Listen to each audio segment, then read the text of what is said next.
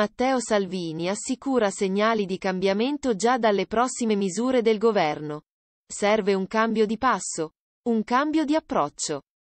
Ma Speranza ribatte. Non possiamo abbassare le misure. Serve un cambio di marcia. Non dico un cambio di squadra. A sottolinearlo è Matteo Salvini, leader della Lega, intervenuto nel corso della conferenza stampa al Senato Covid e lockdown. Gli effetti collaterali sulla psiche dei bambini e dei giovani, promossa dal senatore Armando Siri.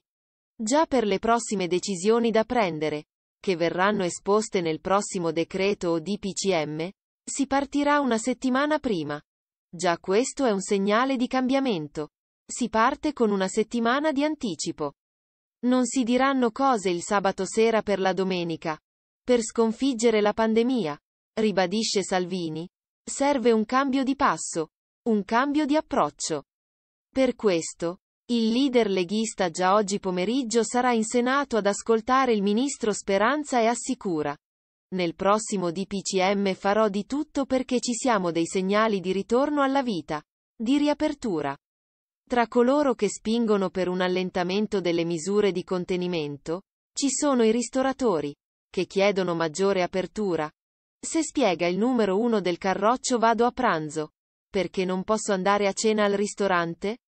L'intento è quello di evitare una generazione di dipendenti, da Amazon, da Glovo che ti propone la cena per la sera, e dal telefonino.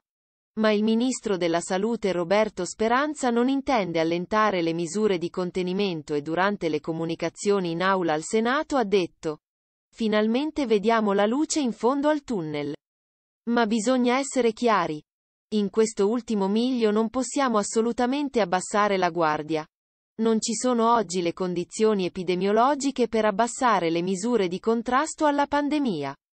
Anzi, ha ribadito Speranza, dato lo sviluppo di nuove varianti, sarebbero necessarie misure più rigorose.